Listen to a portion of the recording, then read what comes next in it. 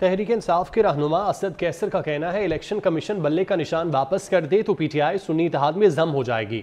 उनकी पार्टी कानूनी माहरीन से मुशावरत कर रही है। इसी पर बात करने के लिए हमारे साथ सबक secretary election commission Qamar Dilshad Sahab मौजूद हैं।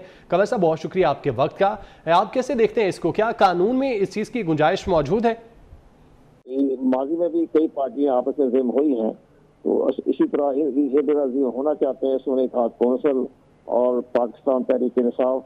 इसका फैसला जो है सेक्शन 215 के तहत इलेक्शन कमीशन पाकिस्तान करेगा। आप ये इलेक्शन कमीशन को बाकायदा पटिशन दाखिल कराएँगे कि हमें आप, हम हम पाकिस्तान दोनों पार्टियाँ मिलकर हम इतिहाद करना चाहते हैं अलायंस करना चाहते हैं।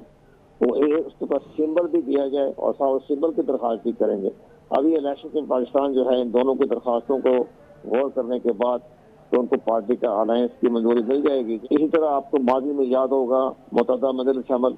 वो छह सात जमातों का था, उनको भी किताब का निशान दिया था, उनको भी अलायंस हुआ था। सुप्रीम कोर्ट के फैसले की रोशनी में इनको मखसूस किसी से मिलने के इम्कान है।